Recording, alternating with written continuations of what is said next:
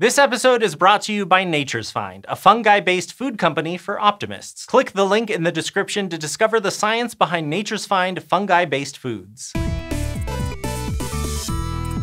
Foodies don't mess around with the art and science of cooking. The quality of ingredients and execution of techniques are important, but they're not all that matters. The composition of cookware, from old school classics like cast iron to more newfangled materials like stainless steel, can also make a world of difference. Some famous chefs swear by one of those classic metals for some of their pots and pans, copper which historians think humans have been cooking with for thousands of years. But at hundreds of dollars or more for just a piece of cookware, copper is a lot pricier than other materials like stainless steel or aluminum. But some people insist it's well worth the dough. One of the major functions of cookware is thermal conductivity, or the ability to absorb heat from your stovetop and release it into your food. This transfer of energy happens via the movement of free electrons. To keep it really simple, this is because atoms have different amounts of electrons. Copper, for example, has one unpaired electron in its outermost shell, and this unpaired electron gets to wander free in the pure copper. And when you apply heat, the atom closest to the heat source starts vibrating and bumping into the free electrons nearby, transferring the heat. So copper is really effective at thermal conductivity.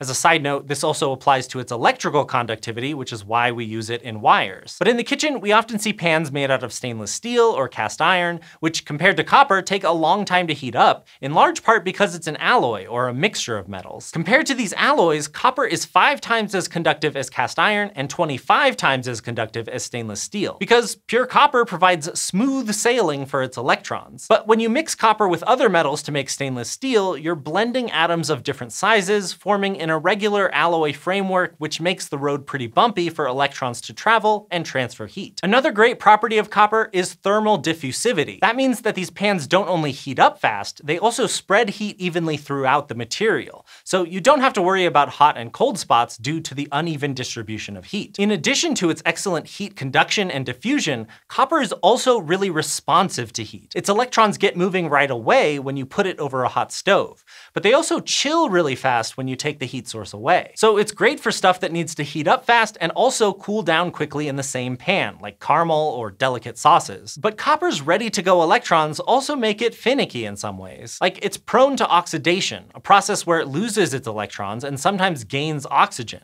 forming copper oxides and salts in the process. That's what's going on with the blue-green coating or patina that we see on the Statue of Liberty, which has a wrought iron framework under her thin outer copper skin. And acids speed up this process. They're happy to take electrons from copper. So the issue is acidic foods like tomatoes can cause these reactions and leach copper into the food. And over time, that can lead to nasty effects like nausea and diarrhea. To prevent this, some copper pans are lined with more stable metals or alloys like tin or stainless steel to make them safe for contact with those foods and easier to clean. And in some countries, like Canada, it's actually not possible to buy copper pots that aren't lined with a safer metal. But of course, a coated copper pan takes a hit on conductivity depending on the coating material and thickness. Now, some chefs argue that actually a thicker steel or aluminum pan can do the trick as well as copper, and that has to do with the capacity of different metals to store heat per unit of mass. Stainless steel, for instance, requires about 25% more energy to heat up than the same mass of copper, and is almost as dense as copper. So if you're willing to wait for your cookware to heat up, a moderately more thick stainless steel pan can pack a comparable amount of heat. And then there's silver, the only cookware material that beats copper at conductivity but not by much. Compared to copper, silver has a bit of an edge because it has one more electron shell,